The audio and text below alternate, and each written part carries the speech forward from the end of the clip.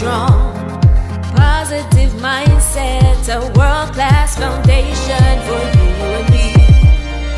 Getting to know young youths and athletes and talented coaches and so much more. Champions in the making, no pain, no gain.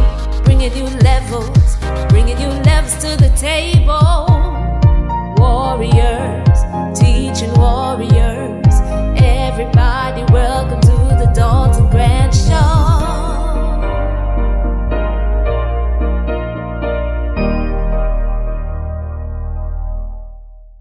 I'd say welcome to episode 16 of the Dalton Grant Academy Talk Show.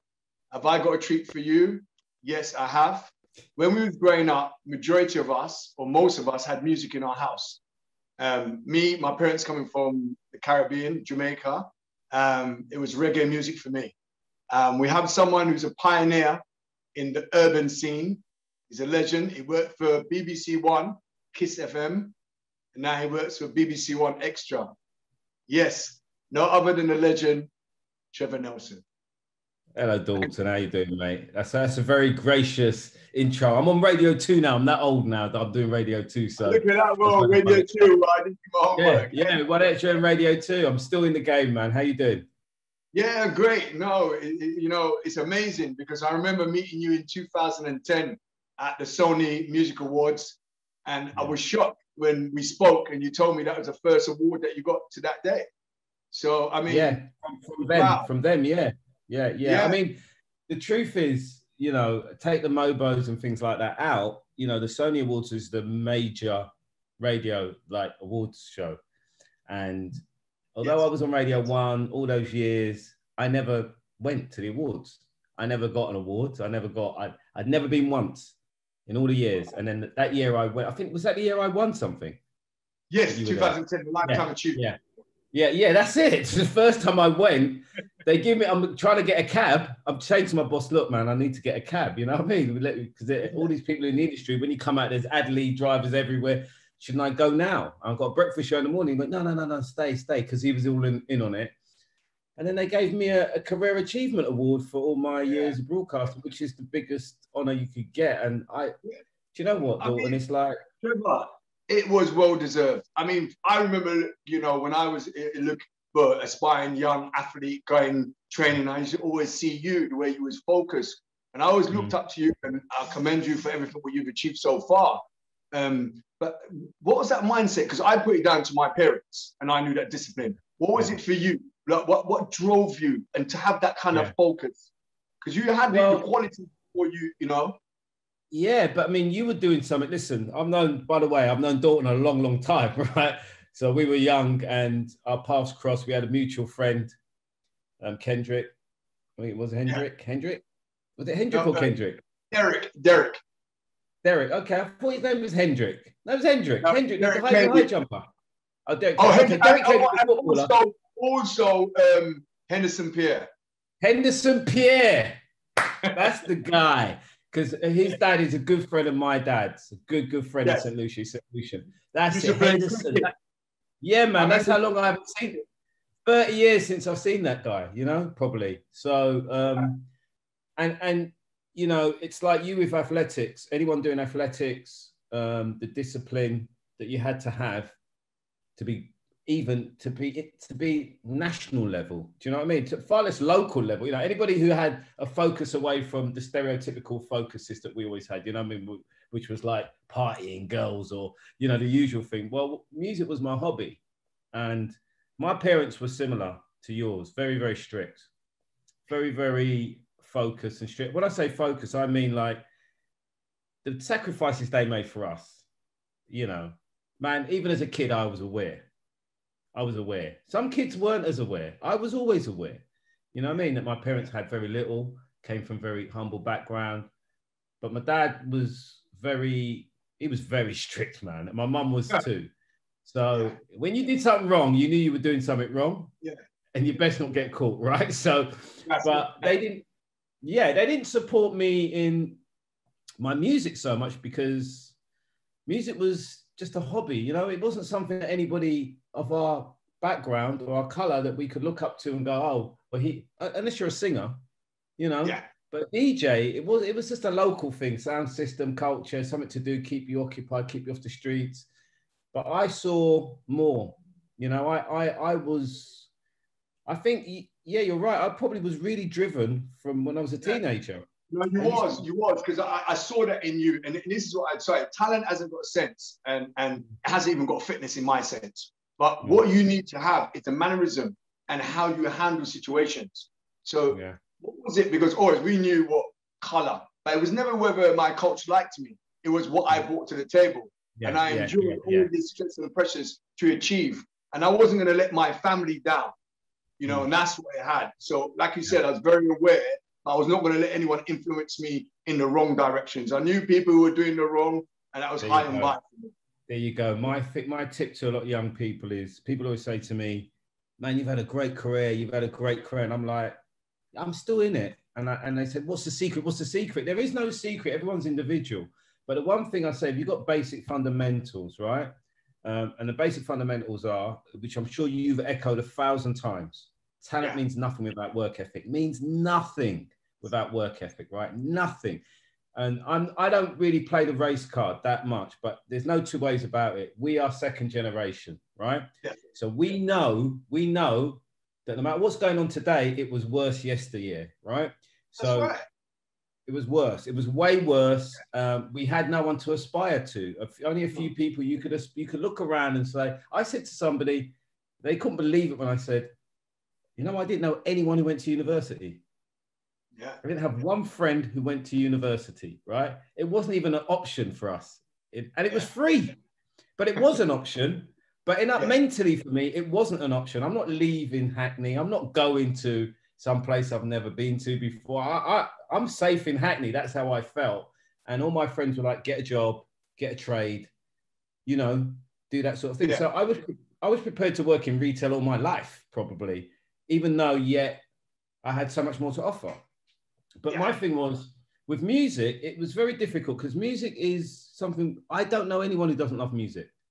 Yeah. Seriously. Right. And I was listening to music 24 hours a day. Right? It was a disease, right? You know what I mean? It was an absolute disease. Start, started my sound system. And I remember. so, I remember what, what was the name of your sound system, Joe? Mad Hatters. That's right. I went to a real. Yeah, yeah, of course. It was small, niche. We liked a certain type of music, right? It was a, it was different to other sound systems. But I remember I did a gig, and this is the making of me, right? I did a gig in Dougie's in yeah. Clapton. Clapton, night right around about. There you go. On a Thursday night, no one went on a Thursday night to Dougie's, right? So we hired it. 30 people turned up. 27 were on the guest list. yeah. Three people paid. Three people paid, right?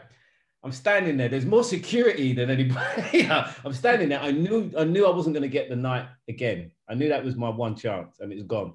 And the guy DJing with me said to me, "Boy, you know what? I think you know might have to play some of this chart stuff. Might have to do this, might have to do that." And I said to him, three people paid, bro. The next time I do a gig, four people are paying." And that was my mindset. I would rather know that people are there and like what I'm doing and grow that, then just be another person who's doing what everyone else is doing. You know, it was about being an individual. It's about not letting, you know, the obvious thing to make a living, you have to do certain things. You know what I mean? And I never wanted to make a living out of music. I always wanted it to be my hobby.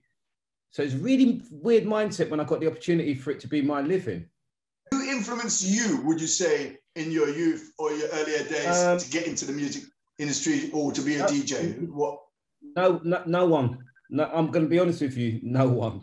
I think that the hobby thing that was a whole cultural influence. The you know the music thing. You know we all love music, man. Come on, even if you were training all week or two weeks and someone invited you to a little Christian or a party, you're still going to try and make it there. You know what I mean? I need a little break for training. You know, it was an outlet. It was an escapism for black people. Let's be fair. We, you yeah. know, when our parents first came here, it was their escapism. So being well known, I think it's, there's no one person. You know, I had a school teacher who kind right. of believed in. So is this your is this your role model then? Your teacher, your parents, or someone international?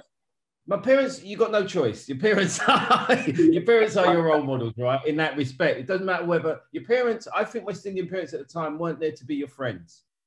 They were Yes. there to guide you, right? Yeah. I didn't know any West. I didn't know any West Indian parent back then who who I didn't have any friends who said, "Yeah, my dad's like my mate." That that does that happens more nowadays than it did then. It was like, no, no, no, no, no. My dad's either strict or he ain't. There's no in Yeah. between, right? My dad's either down the pub or he's on my ass. You know what I mean? And it was one or the other. My dad was on my ass. You know, so outside you need sometimes you need people outside of that to take an interest in you and to to, to rate you for something. And I had, a, I had a school teacher in my primary school, and we didn't have a football team in my primary school, and he started a football team. What primary school do you used to go to? Princess May. Oh, Princess May. Yeah, Princess Wow. May. We didn't have a football team in my primary school, right? So he started the football team, and he he I was captain for a game or two, not because I was the best player or anything, just because he yeah he took an interest in me, you know. He took me to my first football um, Chelsea game. My dad took me to my first football game, but he took me to my first Chelsea game, and I'm a big Chelsea fan. He bought me a record at Christmas because he knew I liked my music, and I'm still in touch with the guy to this day. He lives in Miami with his family and Wow, uh, we're still in touch. We're still in touch. You know, he still keeps an eye on me and stuff. And sometimes you need just when you're young, you just need someone else outside of your bubble of your family just to take it. It doesn't have to be somebody who does what you're going to end up doing. It just has to be Yeah. someone else who kind of believes or sees something in you. It gives you that little. Could be a coach in your case. It could be could be another a senior athlete. Could be anybody. But I had no one in the music industry at all. I thought the music industry was really bad for us. I thought they weren't releasing our music. I thought that I read so many horror stories. And when I got my little breaks, I decided that we need more infrastructure for black music in this country. So it wasn't just having a career. For me, it was I was doing two, trying to do two things at the same time. I wanted to trailblaze. I have to honestly say it because I didn't see anyone doing it. I didn't see Yeah. R&B on a national level. I didn't see television shows with our music being represented properly, you know. And luckily, I've got the opportunity to do that a few times.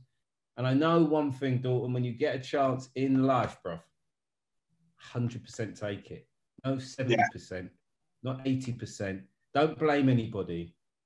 I'm not in the blame culture. Don't blame people for your for your failures. Don't give people too much credit for your your successes. You know, it's down to you. It's a mental state of mind, mate. It's it's like I I I had, I had guys. There were so many DJs. I had I you know I was no one special. You know I there were so many DJs. Some of them were a bit flash. Some of them were this. Some of them just did it for girls. Some of them just did it for fame, in local fame. And I tried to cut through that and say, well, there could be more to this. You know what I mean? Yes. Just integrity. Um, the, the music could be bigger than this, and you know, patience, perseverance. And I got there, and I still to this day can't believe the career I've had, and I'm enjoying my life now more than I've ever enjoyed my career ever. Right now, So I'm going to round of applause for that. dude, I'm happy. I'm happy. You know, I'm happy in my life. I mean, look at you. You look about 12. Do you know what I mean? We still, we're, we're, we're blessed that way. So, Yeah. you know, and success isn't about fame and money. People need to understand that. I, I see a lot of people nowadays. So I was going to ask you, Trev, the next question Yeah. would have been, what key advice would you give to any young um, aspiring DJ or artist in terms of Really attitude and mindset? Well, it's really simple, right? I think first and foremost, if you're true, don't fake it. You have to have true passion. It- you'll get found out. You will get Yeah. found out. You know, you must because there's going to be no matter how. I've got a saying that shit is always waiting around the corner, right? and what I mean by that, what I mean by that is no matter how happy you are or how good things are going, something bad's going to happen at some point.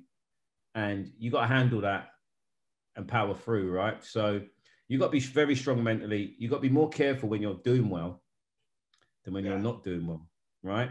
And i you also have to need to have the ability to sometimes say no. People only think about the yeses my, my head is always i spend my time saying no to things because I don't believe in them or I don't want to do that. I don't care if it's money sometimes, Dalton. It's like, that's not right for me. I'm not doing that. I'm not doing that. Read the room. It's a massive thing in life, reading the room. I call it read the room, but it's, it's a really strange thing. And try not to let your personality be suppressed. Don't fake it. Don't be somebody you're not because yeah. you, again, will get found out. You know, there's nothing more rewarding in life not having to put on a persona when you go to work. Yeah. To actually being yourself now, for some people, that's really hard because themselves is like, yeah, you know what I mean? Because, like, yeah, you know, but yeah, that's not life. That's you and yeah, your mates. Yeah. You know, in, in the real world out there, trust me, people might think, yeah, you're so cool, you're so cool. And when you walk out the door, oh, he's a fool. You know what I mean? That, no. That. That's right. Happens all the time. Happens all the yep. time. When I when I go in a room, let me tell you something, Dawn. When I go in a room of any amount of people and I don't know them, I'm, my hand is out to shake their hand, right? Some people will come and go, yo, right? And they're people I don't know. My hand's still like that. And yeah. as, as, far as I'm concerned, yeah. Until I know you, let's not be all this yeah. stuff until I know you. Because let me greet you like I greet anybody. Let's shake hands, look in each other's eye, and let's move on from there. Let's move it on from there. But because you're putting, you allow yourself to be put into a box straight away straight away. No, I, I feel you, Jeff. I feel you. And that's what I do. I find it very hard as well for that. And I'm like that. I don't know if it's a hackney thing or our parents' values, but for instance, even a lot of my friends, sometimes they haven't mm. grown up, grown up, I would say. Because when I'm trying to, I've been to three Olympics, I understand um, I've been trained and coached and took in information. And obviously, mm. my results tell you how, how well I've done. They're still talking from school. They're telling me what I should be doing. And I can't really understand. So the thing is not just because what the purpose in life, you're famous for what reason? And I always say there's famous people in the community, like you're saying, that is famous. But what for playing music, for girls, for dressing well, you know, I don't really understand. And for me, I always that's get to know. That's teenage. Yeah, but I go back to help. Yeah. yeah. yeah. So, so how do you do, how do you handle that? Because obviously, when you're Tre- Trevor, everybody wants to ride on Trevor, bring, bring me in, or and, yeah, and, yeah, know, that's the line. That's the I line. Understand. That's the line. That's the line. Bring, give me a bring in, right? Um, that's like give me a shortcut. That's like give yeah. me a shortcut, right? Now, my my theory is really simple. You're bringing people in by existing, Dalton. You're bringing people in by doing what you do by you go into a room, you talk to people, you mentor people, you do something, you leave something in that room. You leave something that could change someone's life in something you've said or done, or just, you know what I mean? Just help them. And you may not see that for 15 years. That's yeah. your bringing. Do you get what I mean? My bringing yeah. is existing. I'm on the radio. Some kid puts the radio on and goes, Oh, there's a black guy doing, wow. Oh, that's normal to me now, you know, for, yeah. for them. It wasn't normal to me growing up. That the bringing is that that's the bringing. That's the bringing. You exist. You are doing your thing. And then the parent says oh yeah yeah yeah. No i used to listen to that guy when he's on kiss fm or oh, i've been to one of his parties you know and and and so the family start going oh I, I know that dude. I've seen him on telly or whatever. And as long as they don't go he's an idiot or he's a he shows rubbish or it's all negatives that come out that's that there is the bringing. You don't know it at the time but it is so important if i said to you and this is this is us talking as black guys, right? And this is important. I know I don't I'm, I'm not talking to just black people, but the difference between us and and you know our Caucasian brothers and sisters out there is that we we see things are through our eyes that they can't see because we're just culturally different. It's just like if we put the telly on and we're growing up and love thy neighbor which is a program that a lot of people won't remember but people of a certain age will remember. Mind your language love thy neighbor all these shows where the only black people on telly were on. Yes. Okay? You're looking and if i said to you if i bumped into you next week i said did you see thingy last week? Nine out of ten you go yep because that's how it was. This the only black people we've seen on telly. But the man for all that there was trevor mcdonald reading the news. That's right. So trevor mcdonald reading the news it's very important that we see both of this going on at the same time. He he does not understand how important he was, someone like him, to, to making me feel normal about seeing a black guy with a suit on, telling me what's happening. in the world. Definitely. Because all I was fed was caricatures of my race being laughed at or jokes Yeah. being made or, or Yeah. entertain me, entertain me. Do you get what I'm saying? yeah, so- definitely, definitely. in my head mentally, and his name was Trevor, in my head mentally, I was always of the opinion that if I get my chance, I have to leave a legacy. I know it sounds heavy and I know it sounds all the rest of it, but I can't be like Pete Tong and just have a dance music career and just be another DJ and think about myself. I have to think about my community too. I have to think about the next guy who comes in after me. Are they going to take him seriously? Well, the more professional I am, the more chance he's got of being taken seriously. And that was my whole drive motivation. You know, so it weighs heavy a little bit. Stormzy made a tune called The Crown. Yeah. I could relate to it. I could relate to it. You know what I mean? In certain ways, and any anybody who's in a certain situation can relate to that. You know, it, it, it wears heavy. You know, you, you you're, you're gassing me up. Huh? definitely. I'm, I'm, I understand, but you know, I think it's dysfunctional in our community because even the contacts and the reach that you can have, and the Mhm. impact that you can go straight to the top and understand. Yeah. And as like a scout, you've got to see talent. You can see people, their background, understand the Yeah. struggles. There's too Yeah. many people in positions that don't really understand that. And this is our Mhm. problem. That's why we've not grown. Um, you know, I know uh, for me, it set up a um, academy, Dalton Rock Academy in Trinidad. The main reason was my friend was a minister of legal affair in Trinidad. So I've got to get that experience and understand, mm-hmm. you know, coming back, being a board director of London 2012. So my mindset is different. So when I speak to you, that 1%, we can understand those struggles, but to majority of people, they can't. And what I feel like, they think we're different and they want to be like us. At the same time, they want to tear us down. Yeah, yeah. It's So- so- difficult. Yeah. difficult. So how did you break into the American scene then, especially with your mindset coming from UK and you know? Yeah, I mean- I mean- I mean, again- again, okay, I'll say this. I think you've got to have some personality. You know what I mean? You've Yeah. got to have something. You can't, you know, it's not it's not like, oh, I'm a D. They've got, you know, I've done some great interviews with everybody that you can imagine in my career, right? And um, I built up some very good relationships. I don't have their phone numbers. I always say this to people. People think, oh, you got Mary J. Blige's number, you've got Diddy's number. But they respect me, you know, they come here, they I interview them. Um, we've had you know, I've helped them break records in this country, and it's a mutual thing. But so the Americans take me seriously. But this is what's interesting about America. And don't get me wrong, I'm not going to diss them, but they have a slightly more voracious culture than us, right? Go getish. Yeah. Everything's about winning. Everything's Yeah. about, you know, this is the this is the basic difference I found between the American culture and the UK culture. In the UK, in fairness, I still think it's the- the best country in the world to live in for me. I, I, I London is just an amazing city. I don't look at the negatives of London. I look at the positives. It's so multicultural. It's, it's the whole world in one place, right? It really is. It's a, and, and it's you know, it's nowhere near as violent as other places and dangerous. It isn't. No. Trust me, right?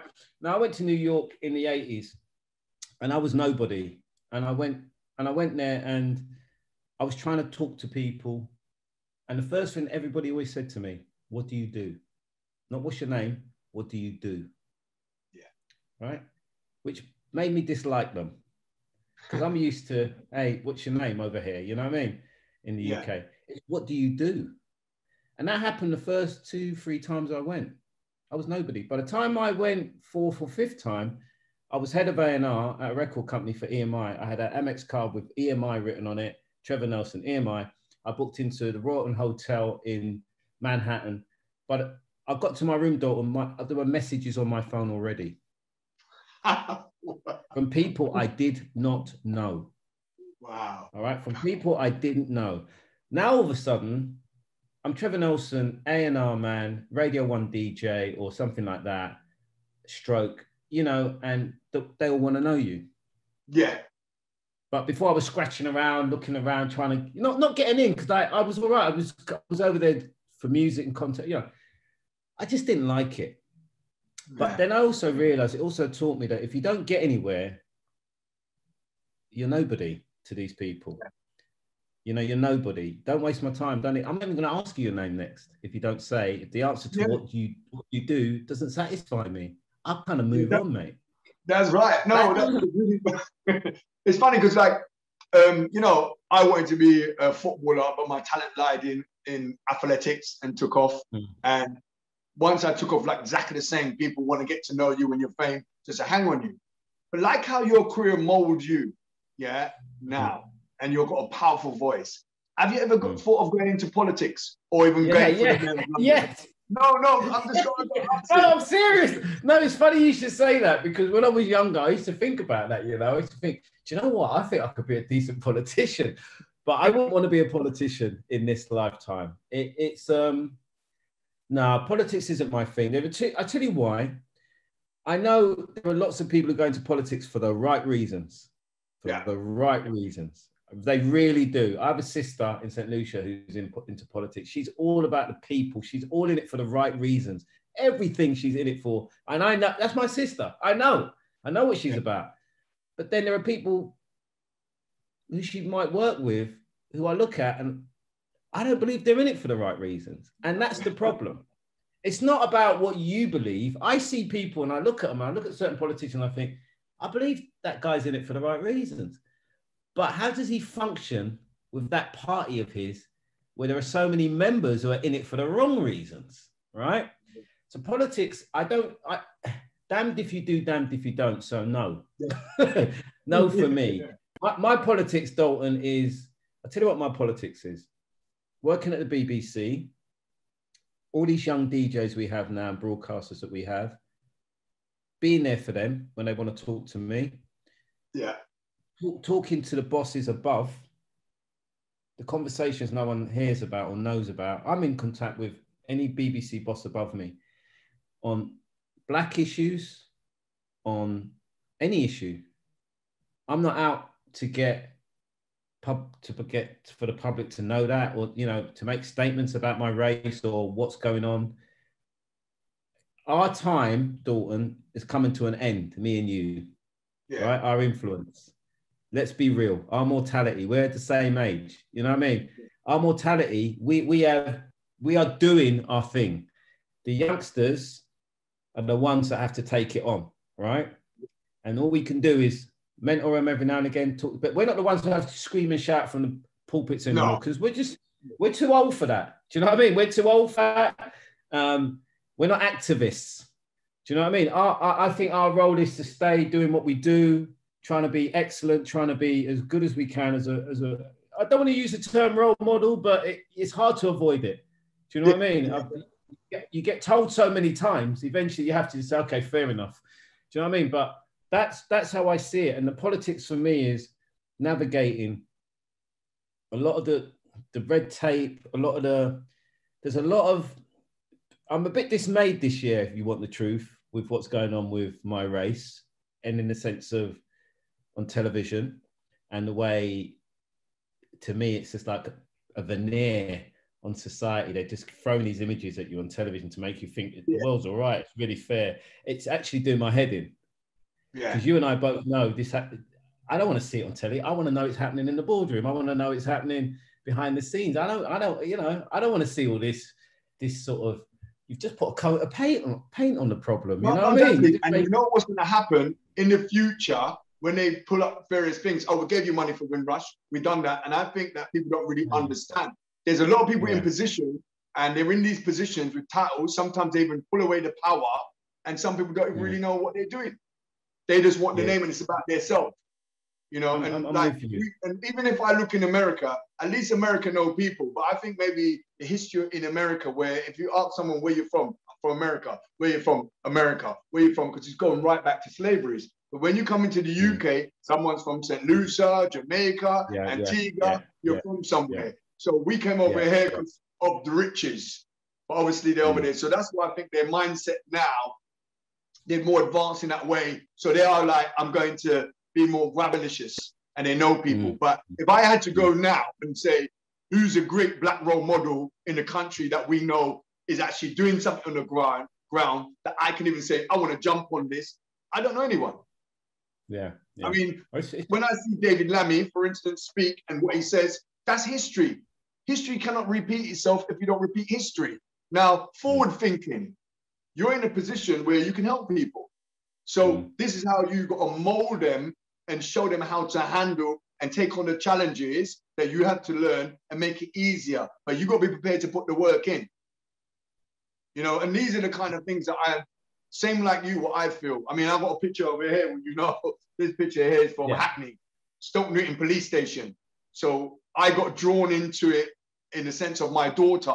Like the youth Mm. just went out and she was going up to for George Floyd.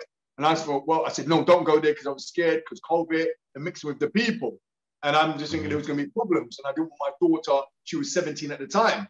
So I thought, what she's doing, she's got a voice, and I had to commend her. So I thought, what can I do? I wasn't going up there. So before anyone did, I went down to Stoke Newington Police Station with my Olympic tracksuit and put the fist up. And it's not, a lot of people know, I've got a lot of white friends, a lot of great white friends.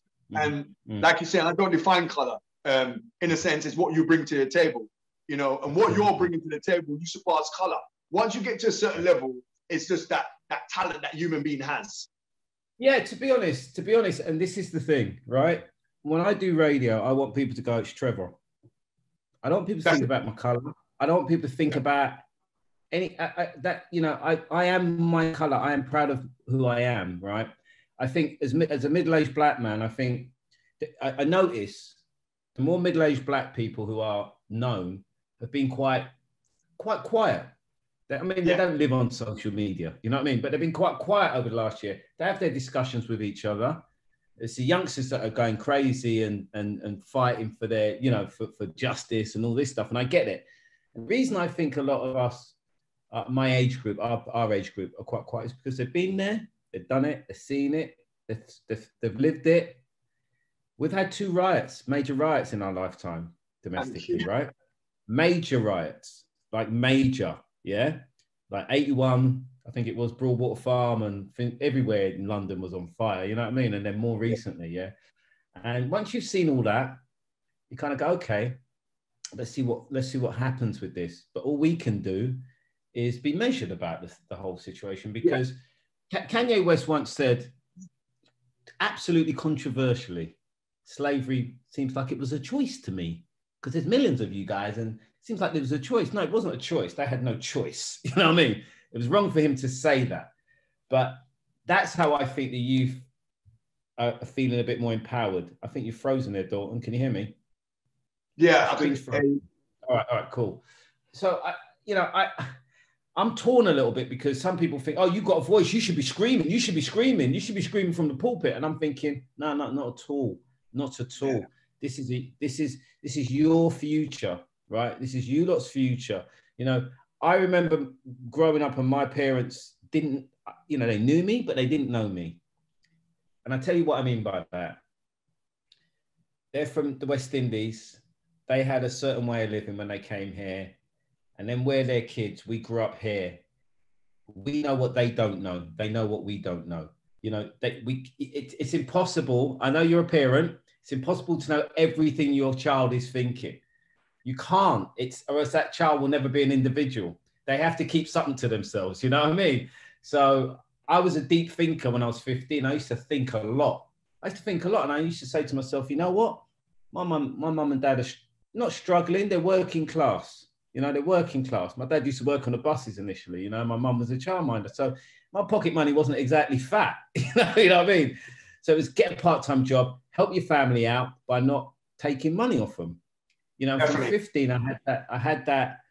I had that mentality from 15, and I feel Yeah. like I've been working since I've been 15.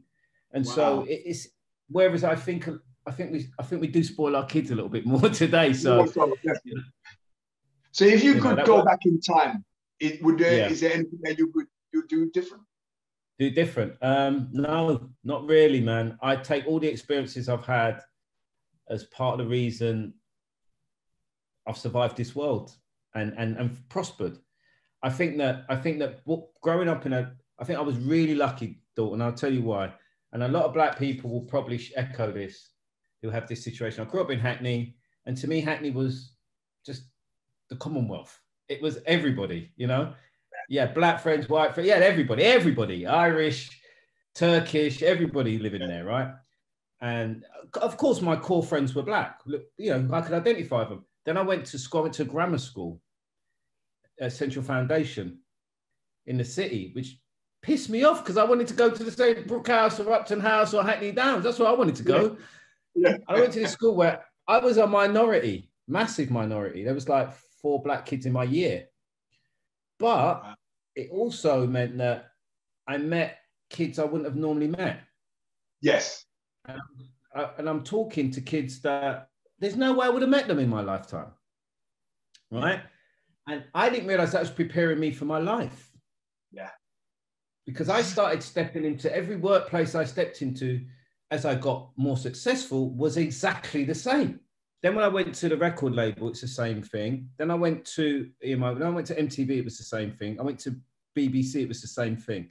My whole life, I have been in a minority in my workplace.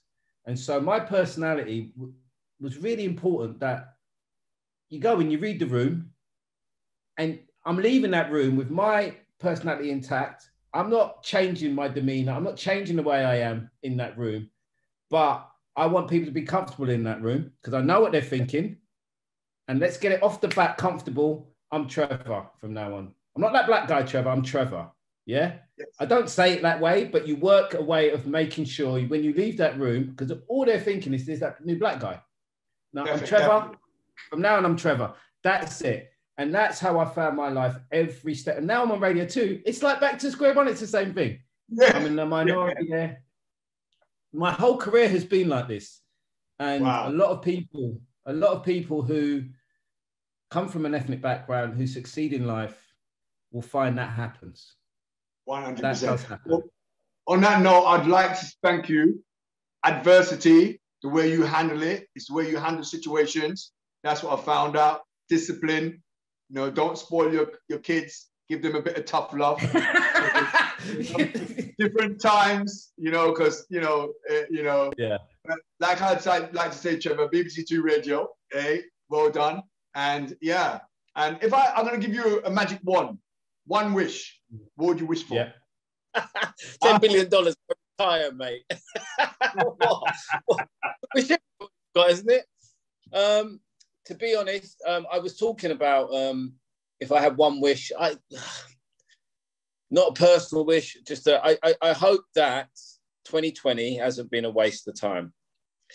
That's my my wish is seriously not only um, because it's given everyone a lot of time to slow down and think. It's given me a lot of time to think but obviously exterior things that have been happening um, in this world have been so rapid so much for people to take in i hope it hasn't been a waste because one minute we have the george floyd scenario and then we have a lot of empathy from everyone around the world who saw that and i feel some of that has been tarnished now with the way it's been politicized so much you know what i mean and i i, I just hope the one wish i have is that 2020 is not a wasted opportunity. All the negative and tragic things that have happened in 2020 should be for the betterment going forward. You know, people I felt were being nicer to each other initially anyway. You know, I'm going for walks. I don't know people. People saying hello. People are caring about each other. People are st- older people. People. Are, it felt more like we were becoming more community driven again, Yeah. which I think lost. Uh, We lost a lot, particularly in London.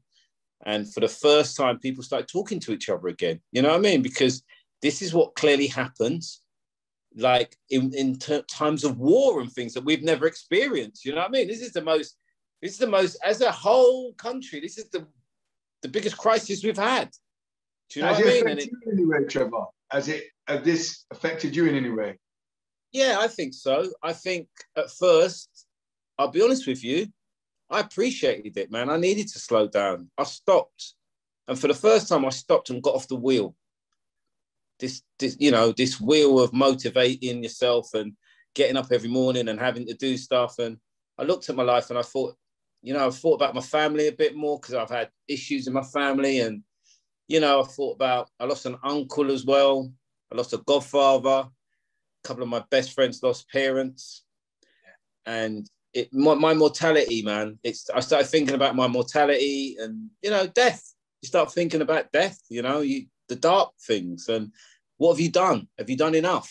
Have you i started wondering if i've got the empathy that i really have i lost a bit of empathy over the years? And i think i had you know so focused Uh, you know so for me it it, it it helped me. It changed me a little bit. You know, it made me realize I, I'm not enjoying life enough, Dalton. I'm just working, just driven, working. But you know, sometimes you got to take you. You got to enjoy yourself. You know. No, you have to. You have to. Yeah. You have to enjoy yourself. I, I and, hmm. Yeah, and I so I, I, a better balance. I, what what it brought for me was I I've realized I've got to have a better balance in my life. You know, I'm so hard headed about doing what I got to do. That what's the aim here? What what's the objective? What what you know? What about you? What about you know what I mean, mate? I started walking. I started walking, which is for a while anyway, which is brilliant because I get in my car to go everywhere. And walking, you think so much. It might, it's like if you run or you train or you when you're training, I suppose, and you zone out when you're used to. I don't know if you ever jogged when you did your your your training or Yeah, whatever. I did. But you know what I'm going to do, Trevor? I'm going to give I'm going to give you a training session. I'm going to yeah, give you a before, I, before yeah, I I die. want you to yeah, do it. I mean, I'm working with a corporate lady who's actually working Nike, and she's seen the benefit. And I've just done it through the lockdown, and it's amazing because she was a swimmer, and the transformation, you know, that how she's Uh-huh. Wow. improved, and she's over 40. So for me as an Well- athlete, it's not about, um, you know, I, I, I'm driven for performance, but it's your platform. It's building that platform and seeing how Yeah. well you can do. And a lot of people think they can run, until you've been taught properly. Yeah. I'd love I'd love you to give me a training session. I'd love you to assess me because I'm an old boy now. You know what I mean? I still look trim. Doesn't mean I'm fit. Okay. No, no. It, it, it you know, athleticism, mindset, and let you know the Yeah. skills and the drills and building a foundation. Yeah. Because if you don't train properly, once you get fitter and you run, run, you pick up an injury because you might not Yeah. have the right technique. Because she was No, when she was running. Yeah. I'm with you. I'll tell you something. The best training I did, the training that I did once that changed, that mentally made me so strong was boxing training. I've got a friend Yeah. who's a boxer, right? And boy, man, them guys Yeah. there, I've got a newfound respect for them. The mental strength, right? It, it's a different kind of thing. You're doing sport, you're trying to get higher than a, uh, you know, you're trying to pole vault or high jump or hurdles or whatever. That's technical, and there's lots of technical stuff there, and you've got to be motivated and driven. Boxing, mate, it's different when someone's hitting you, right? That's what I'm finding. The foundation, the hitting is different, giving a punch and taking it. I've had a Yeah. few boxers and I've had them on their knees. See, it's a difference when you're just training by the sport. But don't forget, when you're Yeah. physically training to train harder, it's different. I mean, Jonathan. Edwards was stronger than Linford Christie. He actually cleaned 150 kgs. When I was Jeez. squatting, people don't realize I used to squat 370 kgs, not fall down, but quarter squats. So it's down, pump up, pump up. Yeah, so yeah. people don't yeah. realize how strong we are. Fitness is not like personal training. No, no, no. You're trying to jump 230 or 240. You're trying to run sub 10. When people say they're fast, every stride is a force is what go into your body to execute to run faster. So the foundation of training is athleticism. Well, let me ask you a question. Let me ask you a question. Apparently, this is just tip. Uh, I've been reading recently, and a couple of people have said to me that when you get older, Yeah. yeah, strength is is is almost more important than um, cardio because your bone density to keep yourself you, you you actually protect yourself by being stronger as you get older. So for me, I don't because I'm, a slight guy. I'm, I'm probably naturally built like you, but shorter. You know, we're, Yeah. we're kind of lean. We're that. We're that. I don't know what they call that, man. Ecto, whatever, man, or whatever. But we're lean, and um, you know, I've never really done big weights or anything like that. I've always done a bit of cardio, which probably is not the best thing for me now. I play golf, so I walk, which is great. But I realise I have to do some weights again and start just getting stronger again because I, I can feel my body needs that. You know what I mean? So What I love you. I- is great. We do um, foundation, so I do the core, circuits, video mix section, because it's important when you put weights on your shoulder, it will go into, onto your back, knees, and here. So I build these um, areas, and then we go into the gym. So you get instant Okay. results. I mean, I'm training a young girl, and, and she's Yeah. 13. She just got signed permanently for the under 16s. And it's just the right training because, you know, like we were saying, I did started weights at 19, Trevor. I didn't really start younger. But when you look at the Americans or you look at the Germans and the Russians, they start early. They understand what it takes. And what they've learned, all the training is come from their past champions. Now you get someone who'd go, I would go and study and get, um, let's say, a coaching badge. There'd be nothing mm-hmm. to do with the Colin Jackson or Roger Black or Daley Thompson training program. It's a program that has no results and they know more. But then you have someone who's been in the, in the arena and, you know, trained and you can see the performance and how fast or how, how high they jumped. And this is going to do, it's like someone not following the model of Trevor Nelson's journey. You're mm. going and study to, to, yeah. to surpass this journey. No. All you need to find out is if that um, person is articulate, having a good eye. So what I do, I'll look at you, and when I bring you to a session, I'll be able to tell, is it your knee? Is it your back? Your mindset at that level, and I can challenge you in there. So this is why I get that. You're scaring me. You're scaring me. I'm telling you, if you meet, I'm gonna, I'm gonna do it. If you meet this lady and you see where she come from, you'll be shocked. Yeah. I think oh, no, I'll be worried about you. You might go back and really start going out there and be an activist. I want I want I want at least one. I want right, right. We'll we'll do this this year. I'll have a session with you. But what I take from coaches like you, and I have not had many, but I, I do take things in, and I realise more about my body than I've ever realised now. I, I understand. You know, most people. I would go as far as say 80% of people I've seen exercise do it badly. That's 80. Right maybe more than 80. I've seen arch backs, I've seen extended stumps, I've seen bad breathing, I've seen really terrible posture. But when you go to a gym, I'm not a member of the gym, I've got a mini gym in my house. But when you go okay. to a gym, you can't, as a punter, you can't be calling people out. You you know, you're watching them, but you can't walk up doing this wrong. Because I don't work there. But I'm I am amazed, Dalton, amazed at how many people do gym badly. And I and I honestly think there should almost be a law where you can't do gym unless you're doing it correctly. you know what I mean? Because you do more harm to you do more harm to yourself. You no, do no, more harm than good. I've seen definitely. people on a road team with their back all bent up and uh, yeah. what are you doing? upright position. Yeah, shoulders square. Rowing is the most torturous sport uh, exercise. I'm telling you because. No, no, I know. I found rowing you know, I've got a rowing machine upstairs, and what I ended up doing was just using it for warm ups, like five minutes, correct posture. If you just even five minutes, correct posture rowing is good, rather yeah. than twenty of bent over. Uh, yeah. You know, you know, I'm I'm laughing because and that's the thing. What I do, always shape and how you conduct yourself. It's like when you walk as a model. It's like when you jump, you know, shape how you kick a ball. But a lot of people yeah. haven't got that core strength, and that's what I do. The foundation yeah. for me is core, core, static, yeah. then core on the move, because everything that you do on the move. So these are the kind of things. Even when you do plank, that's on the spot. But when you're not going to just stand on the spot, you're going to walk. So give me a day. I'm leaving that to you. The ball's in your court. So you're going to give me the date and when, and I'll work around well, your schedule. Yeah, we're gonna, we're gonna do it, but I, will come to you. Don't worry, I'll come to you if you want me to. You know what I mean? I don't know. You just tell me what. I'll come to you. Well, right, you know, you, you can film it. But, hey, film it, but don't use it. All right, then. you know, great. We'll do it. We'll do it, man. It'll be fun. Definitely. Well, on that note, I'd like to say, Trevor Nelson, Sir Trevor Nelson, thank you. what?